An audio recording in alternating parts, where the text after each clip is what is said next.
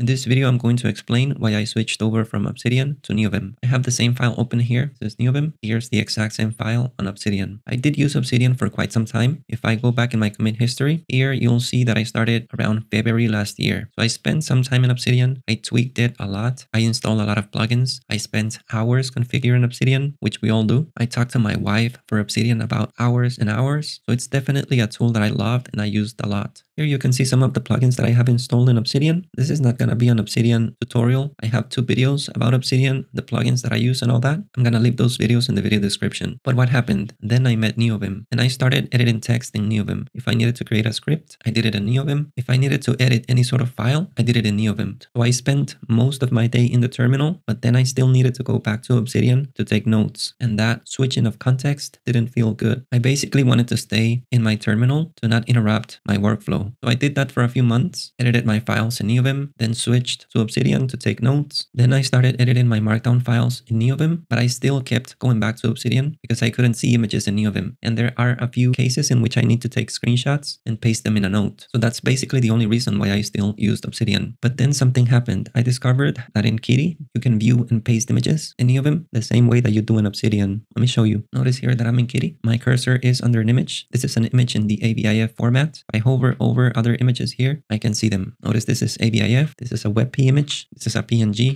and this is a JPG image. Also, if I paste an image in NeoVim, I have it configured so that it automatically saves the image in the AVIF format. I do that because of the size is way smaller and the quality is really high, but you can configure it to save it in different formats, up to you. If you want to know how to do that, I also have a video. You'll be able to find it in the video description. So that was one of the few reasons that kept me going back to Obsidian images. Then I also met folds. Notice that all of my headings are folded. If I hit enter on each one of them. I can unfold or fold a heading. This is a heading level 2. Level 3, I'm going to hit enter here, but I have other subheadings inside. I also created a key map. If I press leader MFU, it's going to unfold everything. I can navigate between headings. If I press GK, I go to the heading above, GK, GK, keep going up. If I press GJ, I go to the heading down. I can fold everything again. I can press leader MFK, it's going to fold everything up to level 2. If instead I press leader MF L and I fold everything up to level 3. So I have level 2 and level 3 headings. Let me fold everything back to level 2.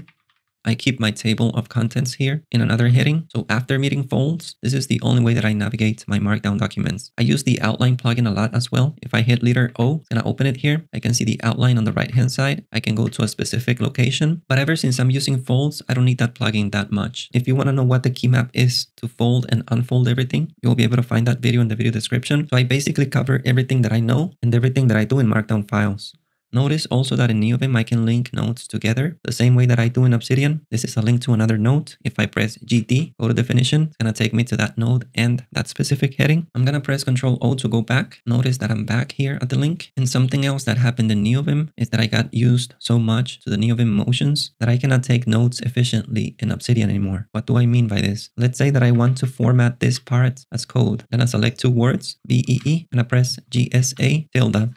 Notice that I added this as code. What if I want to replace this tilde with a quote? GSR tilde quote and it replaced it. What if I want to get rid of this quote? I can press just GSD quote, gets rid of it. What if I don't want this to be a bullet point anymore? I'm just going to press leader MD. I have a key map for that. Notice that I'm going to press that again, leader MD, and this is a bullet point again. I can easily select a paragraph VIP and copy paste, move it around. Obsidian does have Vim motions, but you cannot do all these advanced things. Let me show you how to do that in Obsidian real quick. If you come to VimRC support, you enable it, and here you specify your vimrc file. So whatever you have in your vimrc file is available here in Obsidian. Not all of it, because it's not completely compatible, but most of the things will work. So I can navigate around here using Vim motions without an issue. I can select text, I can copy, paste, but all of the advanced stuff that I do in NeoVim, they're not possible here. Notice that I also have the outline here on the right hand side. I mean, it's nice, but I would like to navigate my file. I would like to fold it and just navigate through my headings the same way that I do in NeoVim. It's way more organized. I don't have all the the information here on the screen, but instead I only have what I need and it's not distracting. Another big reason why I switched to NeoVim is because I started a blog post. Let me switch to that real quick. Is the one that you see here, github.io. I'm gonna hit there, enter, and I edit my blog post the exact same way that I edit any other file in NeoVim. Notice that I have folds, I can navigate through them. So creating a blog post for me is really simple. It's just like any other regular markdown file that I have in my Obsidian repo. Let me show you this one real quick. Notice NeoVim versus Neovide. What is it benefits, how to install. NeoVim versus Neovide. What is it? Benefits, how to install. Let me go to how to install. Here is the text. If I go back to here, you're going to notice that I have the exact same text here. So it's pretty simple for me to go from here to here. It's not something that I could do in Obsidian. Of course, there is a way to publish your notes in Obsidian with Obsidian Publish, but that is not something that I wanted to try out. Something that some people will bring up is the graph view in Obsidian. Where is that? Oh, here it is, open graph view. It links all your nodes together. If I hover over this, you can see this big nodes here. Honestly, I don't know what people use this for. I don't get it. I don't understand what its practical use is. I'm not sure if it's something cosmetic or whatever, but I have never used it. I don't see me using it. If I need to search for something in Neovim, I use Telescope for that. I just press leader FF, Telescope shows up. I'm using the Telescope Frecency plugin. So the nodes that I use the most show at the top. They have a higher score. So if I type Docker, it's there. If I type, for example, Kubernetes, I have a few nodes. If I type, for example, Debian, if I need to open that node, I open it easily like that. I can also navigate my open buffers with the Snipe plugin. If I hit Shift L, I can go to any file by pressing a single key. If I press F, I'll go to this test markdown file. As you notice, it took me there. If I want to go back to the previous buffer, I'm just going to press space space. That's the way that I configured the alternate buffer. If I want to search for a specific text throughout my vault, let's say that I want to search for this, I'm going to copy this. I press leader SG, paste it, and it shows me on which file that text is, which is docker.md, the one that we have open there. Notice that I'm searching here, script 2, shows me all the different nodes,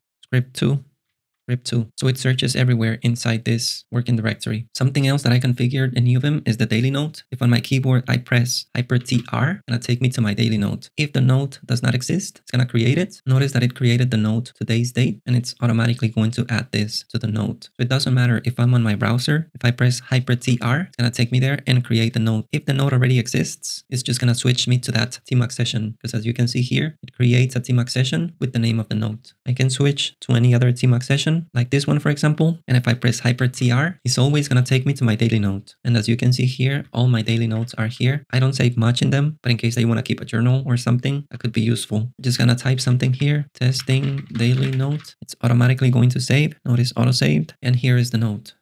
We could say that one of the few reasons that I still open Obsidian for is to automatically sync my changes to GitHub because I use the Git plugin. It automatically commits and pushes my changes to GitHub. I've been lazy. I haven't configured that, but I think I will so that this repo is pushed without me doing anything. So far, I have been manually pushing the commits in Neovim, but I think I'll do it automatically. We'll see. So as you can see, I don't have a reason to continue using Obsidian as I can basically do everything that I need to do in Neovim. I'm not saying Obsidian is a bad tool. I loved it. I used to talk to my wife about Obsidian every day, multiple times a day. She was already tired of it, but as of now, I don't have the need to go back to Obsidian. I'd like to know what you think. I'd like to know the reasons why you still use Obsidian, or if you have also migrated to Neovim or planning to do so. Let me know down in the comments. I hope this video was useful. I'll see you in the next one.